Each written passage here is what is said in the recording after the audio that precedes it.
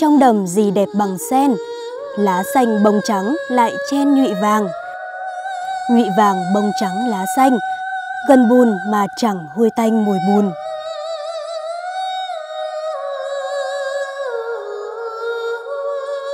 Là loài hoa gần gũi nhưng mà không kém phần thanh cao, hoa sen trong tâm thức của người Việt được coi là một biểu tượng của sự trong sáng và thuần khiết. Hoa sen được nhiều người xem là quốc hoa Việt Nam và đó cũng chính là biểu tượng của khí phách và bản sắc tâm hồn Việt. Giản dị, tao nhã nhưng vô cùng tinh tế, cây hoa sen là hiện thân cho tính cách, khí chất tâm hồn người quân tử. Cây hoa sen mọc trong bùn đất nhưng vẫn vươn lên mạnh mẽ, tiếp nhận sinh khí từ ánh dương, giống như con người sinh ra trên đời, trải qua bao sóng gió, cám dỗ, vẫn bản lĩnh sống đúng với đạo lý làm người, theo đuổi đam mê và khát vọng. Sen thì có cả hương lẫn sắc, nhưng mà hương sen thì sẽ không quá nồng mà dịu nhẹ, gợi một tinh thần cao thượng. Sắc sen thì đằm thắm và kín đáo, cánh trắng phớt hồng, nhụy vàng, vượt lên trên bùn lầy để đến được một nơi khoáng đạt và tràn đầy ánh nắng. Sen khoe sắc và khai nụ kết hoa, tỏa hương thơm ngát như là gói gọn tất cả sự tinh túy của đất trời. Không ít người cho rằng hoa sen thường chỉ xuất hiện ở các nước châu Á, nhưng thực chất loài hoa này hiện diện ở khắp nơi trên thế giới.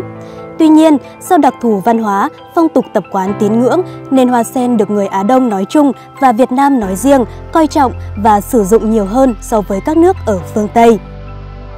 Bên cạnh đó, hoa sen cũng được mệnh danh là hoa của Phật. Hoa sen theo Phật giáo là đại diện cho tấm lòng hướng thiện. Nhìn thấy hoa sen, chúng ta sẽ bất giác nghĩ đến hình ảnh của Đức Phật ngồi trên đài sen, một hình ảnh đẹp để cảm thấy cuộc sống nhẹ nhàng, thanh thản hơn giữa cõi trần.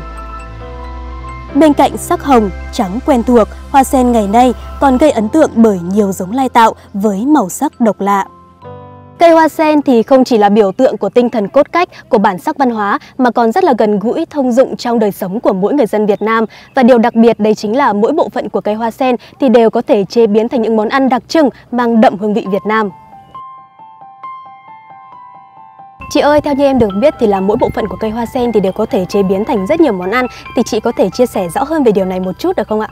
Từ một cây hoa sen mình có thể sử dụng tất cả các bộ phận của hoa sen. Bông hoa thì mình có thể ướp trà, củ sen thì mình có thể dùng trong nấu ăn hầm làm trà củ sen.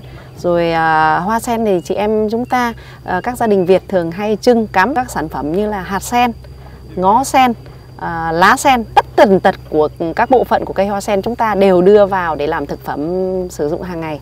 Tại đầm của mình hiện nay thì chị đang phát triển bao nhiêu loại món ăn hay là thức uống mà có liên quan đến sen ạ?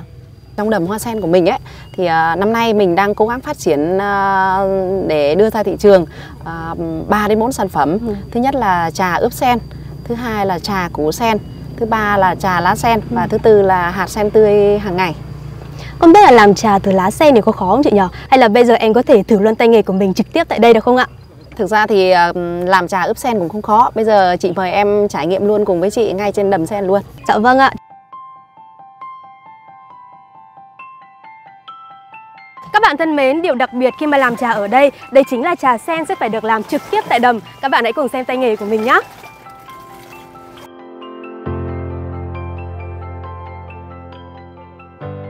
Chị ơi, thế tại sao trà thì mình là phải ướp vào buổi sáng ạ?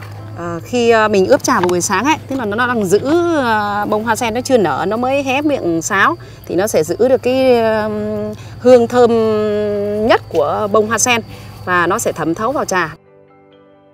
À, sau khi chúng ta ướp xong một bông hoa sen như này thì vào thời điểm là 5 giờ sáng ngày hôm sau ừ. chúng ta sẽ ra đầm cắt bông sen này mang về và chúng ta có thể thưởng thức một ấm trà của ngày mới.